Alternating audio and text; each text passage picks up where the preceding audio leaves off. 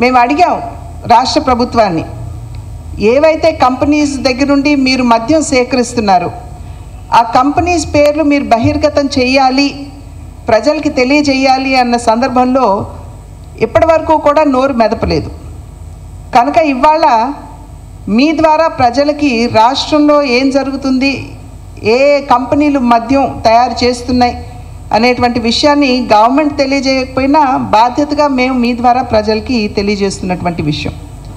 అయితే మేము అనేక ప్రశ్నలను కూడా మేము అప్పుడు లేవనెత్తాం మేము మీకు వినిపించాం. మీ ప్రెస్ ద్వారా మేము ప్రజలకి వినిపించాం. రాష్ట్ర ముఖ్యమంత్రి గారు అధికారంలోకి రాకముందు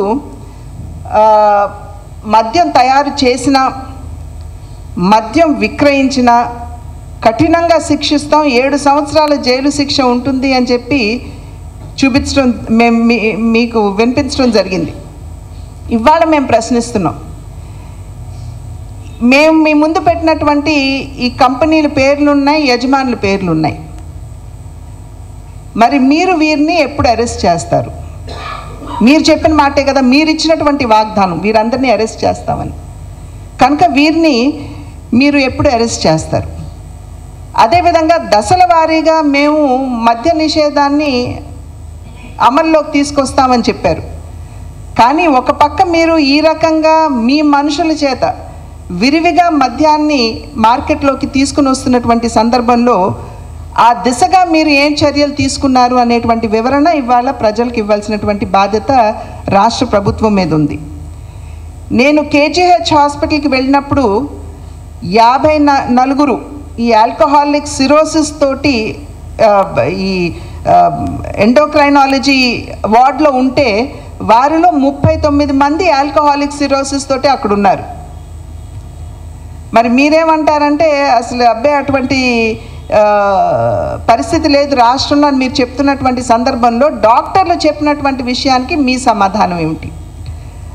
మరి అదేవిధంగా మీరు ఇవాళ మేము ఆ రోజు చెప్పాం రాష్ట్రంలో అతి తక్కువలో కాన్జర్వేటివ్ అనేటువంటి పదాన్ని నేను ఆ రోజు వాడాను. ఎనభై లక్షల మంది రెండు వందల రూపాయలకి రోజుకు రెండు వందల రూపాయలకి సరిపడా మద్యాన్ని కనుక సేవిస్తున్నట్లయితే యాభై ఆరు వేల కోట్ల రూపాయలు మీకు ఆదాయంగా వస్తున్నట్లయితే మీరు కేవలం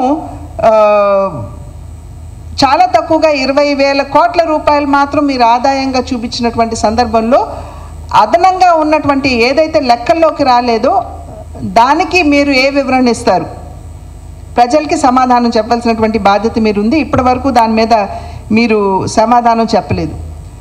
మద్యపాన నిషేధాన్ని నేను అమలు పరుస్తాను. మద్యాన్ని ఫైవ్ స్టార్ హోటల్స్ వరకు నేను పరిమితం చేస్తాను అని చెప్పినటువంటి ముఖ్యమంత్రి గారు బెవరేజెస్ కార్పొరేషన్ ద్వారా అప్పు తెస్తున్నటువంటి సందర్భంలో వారు సంతకం చేసినటువంటి కండిషన్ ఏమిటండి?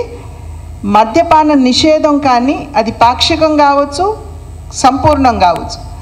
మద్యపాన నిషేధాన్ని మేము అమలు పరచం. మద్యానికి సంబంధించినటువంటి పాలసీలో ఎటువంటి మార్పులు తీసుకురామని చెప్పి ఆనాడు వారు చెప్పారు. మరి వాళ్ళ ప్రజలకి వారు ఇచ్చేటువంటి సమాధానం ఏమిటి? దీని మీద కూడా ఇప్పటివరకు మేము లేవనెత్తినటువంటి ప్రశ్నలు ఇవన్నీ. కానీ వీటి మీద ఎటువంటి సమాధానం లేదు. అదేవిధంగా డిజిటల్ పేమెంట్స్ అనేవి లేవు. క్యాష్ అండ్ క్యారీ ఇవాళ మద్యం ఏ, సంబంధించి జరుగుతున్నది అని చెప్పి నేను చెప్పడం జరిగింది. ఇవాళ మద్యం కొట్టుకు వెళ్ళినట్లయితే ఫోన్పే కానీ గూగుల్ పే కానీ అక్కడ ఉండదు. అక్కడికి వెళ్తే ఏమంటున్నారు? ఏపీ ఆన్లైన్ అనేటువంటి ఒక ఆన్లైన్ పేమెంట్ సైట్ ఉంది. దాని ద్వారా మీరు పే చేయాలి అంటూ వశిష్ట అనేటువంటి ఒక కంపెనీకి దాన్ని మేనేజ్ చేసేటువంటి బాధ్యత అంతా కూడా ఆ కంపెనీకి వాళ్ళు ఇచ్చారు.